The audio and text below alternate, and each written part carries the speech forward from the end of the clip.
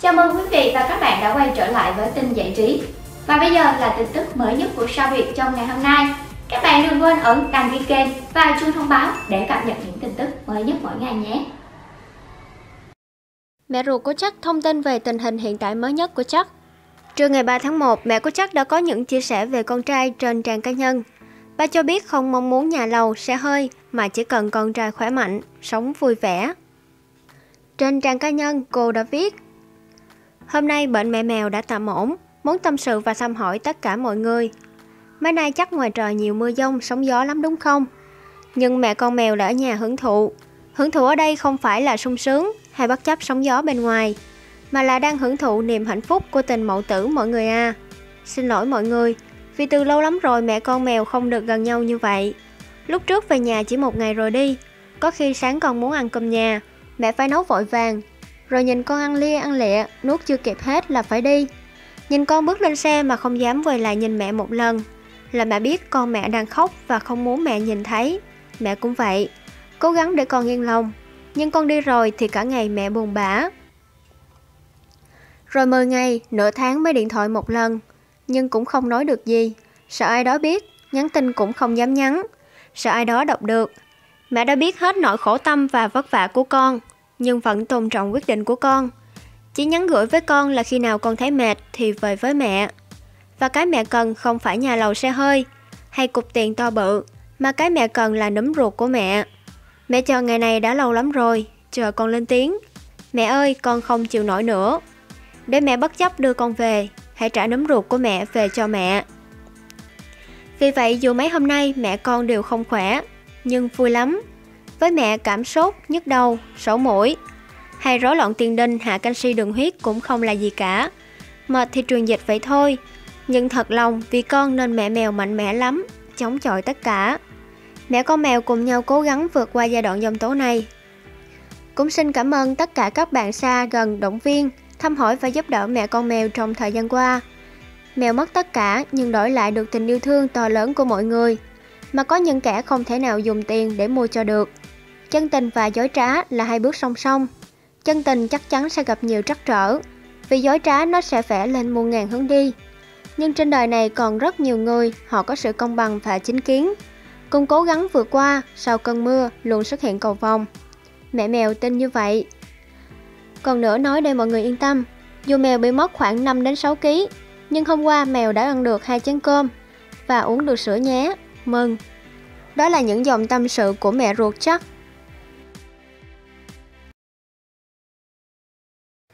KICM lần đầu đích thân phát ngôn sao lọt lùm xùm mâu thuẫn với chắc. Ồn ào giữa chắc và KSM có vẻ như chưa có dấu hiệu kết thúc. Chỉ một ngày trước, thông tin KSM đang rơi vào trạng thái tiêu cực, có thể trầm cảm được chia sẻ càng khiến dòng mạng xôn xao. Giữa thời điểm này, nhà sản xuất âm nhạc trẻ cũng lần đầu lên tiếng sau một thời gian công ty đại diện phát ngôn. Cụ thể, KSM đã cảm ơn người hâm mộ đã luôn đồng hành, tuy nhiên suốt một dòng trạng thái dài không hề nhắc đến chắc. KSM đã viết, Thời gian vừa qua, người mà Khánh nghĩ đến nhiều nhất chính là các cậu. Những người luôn ở bên cạnh làm nên KACM ngày hôm nay. Thời gian qua có lẽ mình là người khiến các cậu tổn thương nhiều nhất. Mọi chuyện đúng sai, hãy để thời gian cho ta câu trả lời xứng đáng. Rồi sẽ có những người ra đi và người ở lại. Khánh đều tôn trọng lựa chọn các bạn. Đứng tại thời điểm này, Khánh chỉ muốn gửi đến lời cảm ơn chân thành tới những người đã lựa chọn ở lại, lựa chọn tiếp tục tin tưởng và chờ đợi. Dạy cho Khánh đâu là tình yêu thật lòng, người Khánh trân quý suốt cả cuộc đời. Cuộc đời này vốn dĩ có những khó khăn không thể đoán trước. Nhưng chỉ cần ngoảnh mặt lại, vẫn nhìn thấy có người thương mình, vẫn luôn bên cạnh. Vậy thôi cũng có thể yên tâm bước tiếp rồi.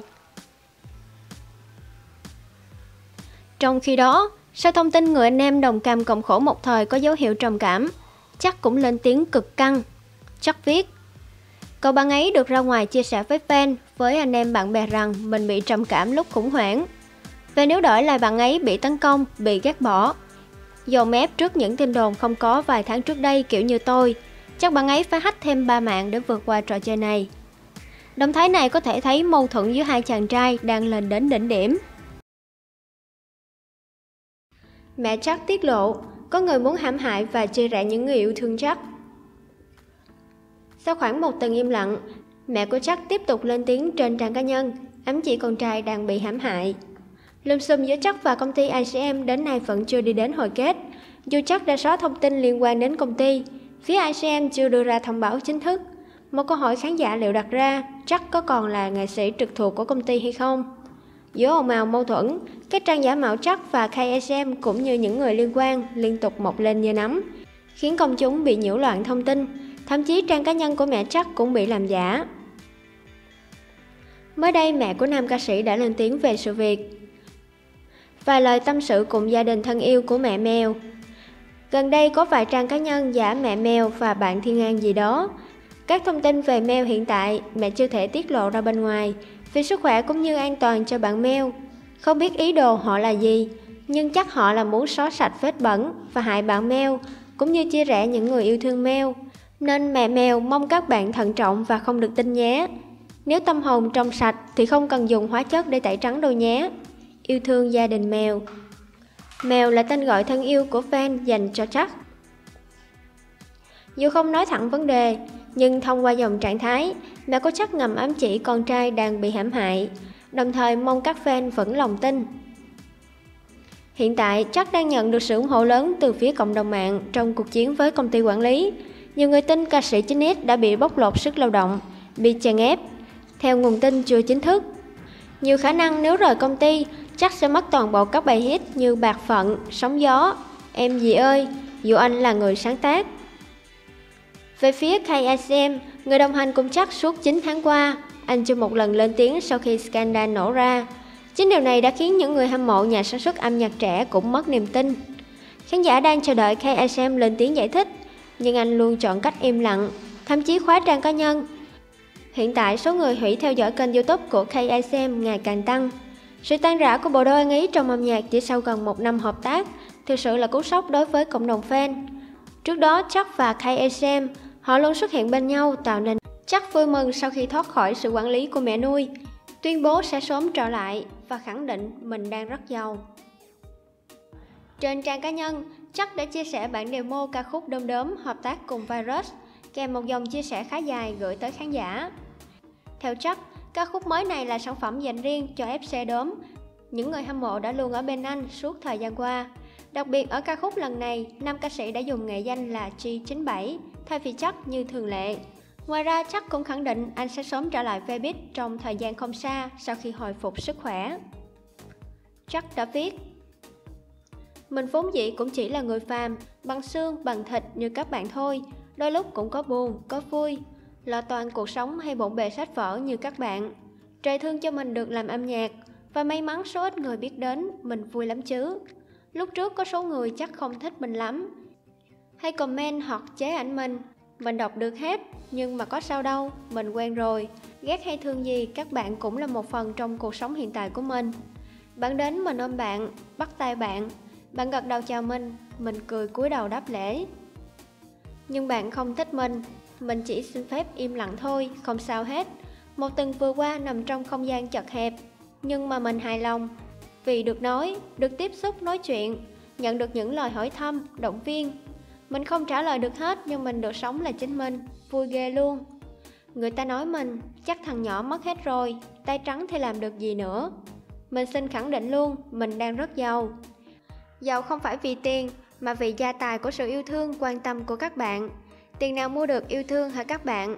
Ganh tị với mình chưa? Ha ha ha. À mình tặng các bạn đoạn nhạc bên dưới. Mình muốn các bạn luôn khỏe mạnh, vui vẻ, cười thật nhiều và sống cho trọn ý nghĩa của một ngày. Đừng buồn hay giống mình xíu siêu nào nhé. Âm nhạc trong mình, trừ khi nhắm mắt rồi, tay chân run rẩy không làm nghệ thuật được nữa thôi. Chứ nằm viện hay thiếu sức khỏe có là vấn đề gì đâu. Mình sẽ quay lại. Cho chính fan của mình, những người yêu thương, mình ra sao cũng được, nhưng các bạn phải thật bình an. Có bạn mới có tôi. Cảm ơn các bạn đã đến đây. Không chỉ thế, để trấn an tinh thần của cộng đồng fan, chắc cũng chính thức lên tiếng cập nhật về tình hình sức khỏe hiện tại sau một thời gian nhập viện vì sốc tâm lý. Muốn nói là mình vẫn khỏe, sẽ chiến đấu bằng mọi giá. Cảm ơn, cảm ơn tất cả. Chắc viết.